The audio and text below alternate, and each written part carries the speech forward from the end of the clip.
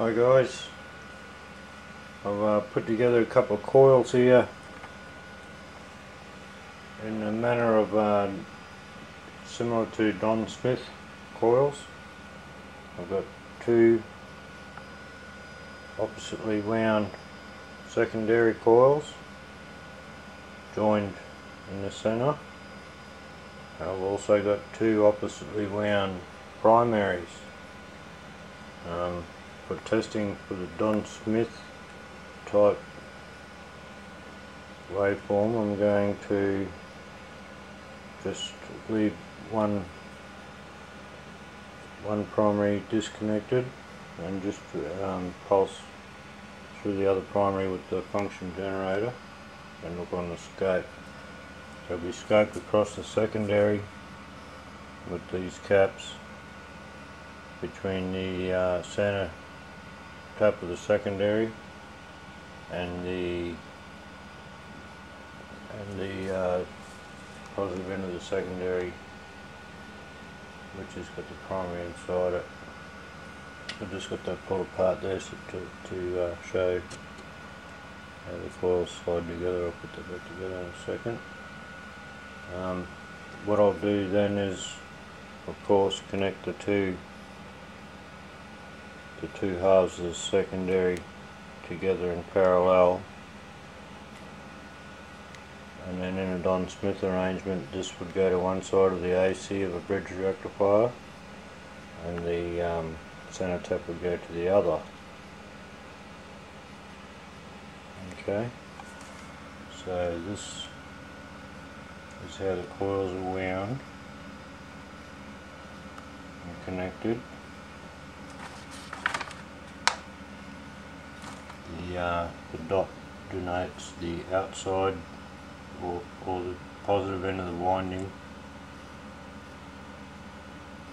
Um, the center tap there. And then and then the winding reverses so that the positive is on the other end of the um, primaries. So for testing it's set up like this S for signal generator. We've got um, 0.2 UF across the primary and 80 nanofarads across the secondary there. And I'll probe across one secondary and then put the other one in parallel. So now I'll set up the uh, camera to just view the function generator in the scope only. Okay. Okay, I think that's visible. That's um, 71.4 kilohertz. As you can see, the um, I'm only using a couple of volts on the function generator but as you can see there's a, there's a sine wave on the secondary there. I'll disconnect the other secondary in parallel with that. And that's what happens. The voltage is effectively halved.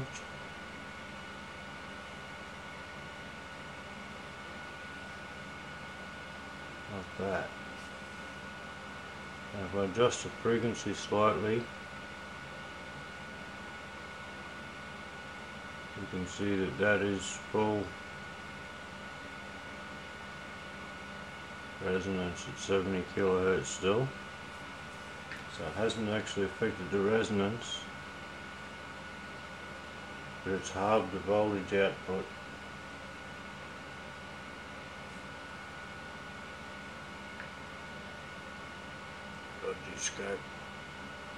It's halving the voltage output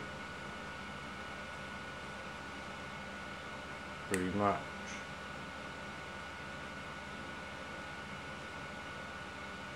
Changing the resonant frequency ever so slightly.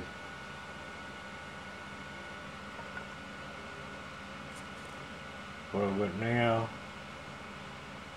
we're going to set up like this exactly the same setup but I've brought the other primary into play and um, I've got the two inside or negative ends of the primary connected together so that the primary is in series that way. I've got 0.14 UF across the two primaries in series. Got the same 18 nanofarads across the one side of the secondary. What I'll, what I'll do is I'll show it probed like that first and then I'll add the second side of the secondary to the uh, to the one that's already probed.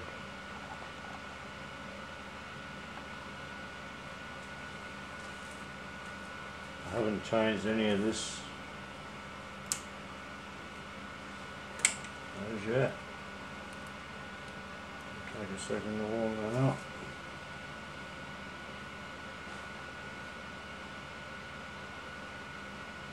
Well, actually, I have changed the um,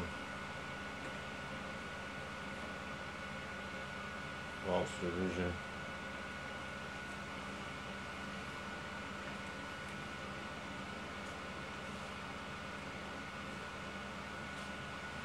Show why in a second. That's that's on one one volt per division. Take it down a little bit. It's on one volt per division. Um, connect the other side of the secondary and goes up the charts. So I'll change it up to 10 volts per division, connect the other side of the secondary there. So this is one, one volt per division, 10 volts per division.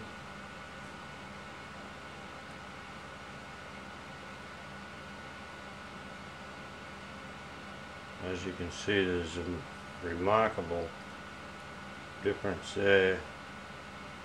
Instead of halving the voltage, voltage is doubled. This is how it's meant to be done, I think.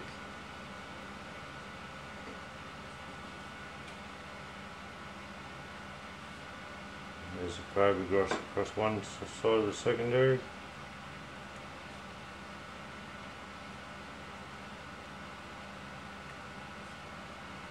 You should-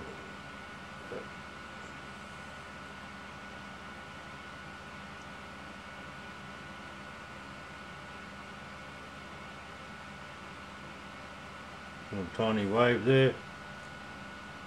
Big wave.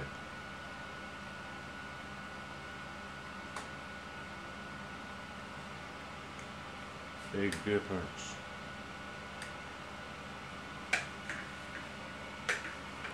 I think the same effect, instead of being done any parallel like this with the clockwise, counterclockwise